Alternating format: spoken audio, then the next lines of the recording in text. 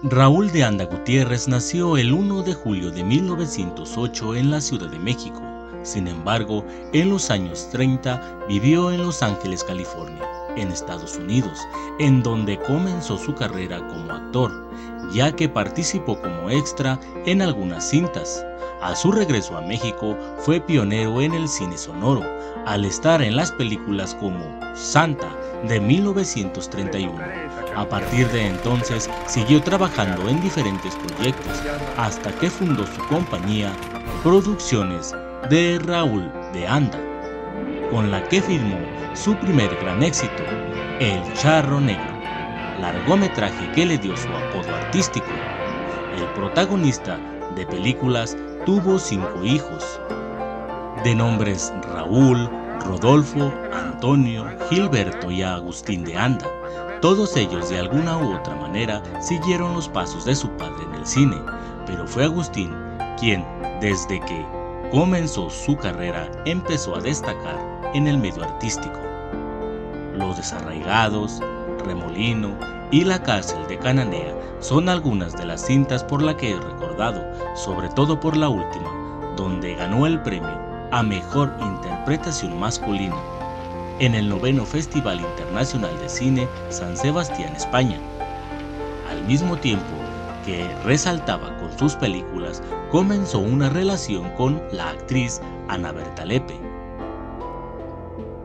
La pareja se encontraba muy enamorada, pero su único inconveniente era el papá de la actriz, Guillermo Lepe, quien se opuso a su noviazgo. Sin embargo, los actores estaban decididos a defender su amor y se comprometieron, por lo que la boda estaba planeada para junio de 1960.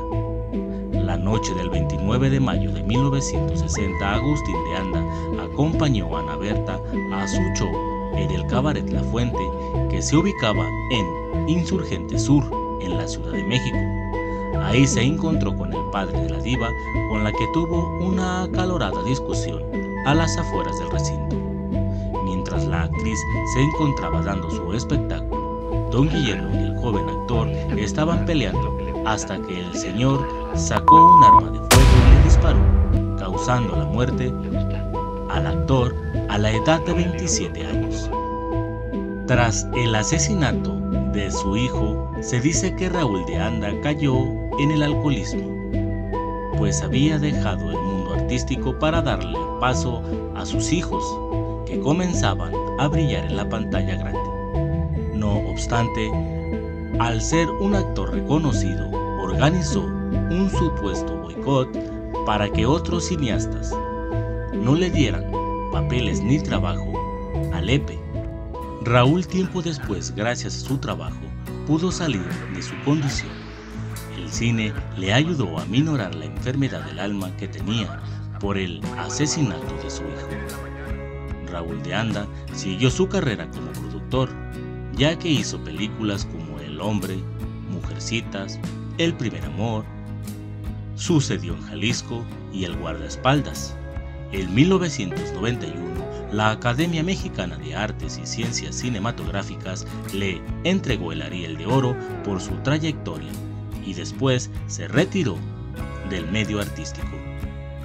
Raúl de Anda murió el 2 de febrero de 1997.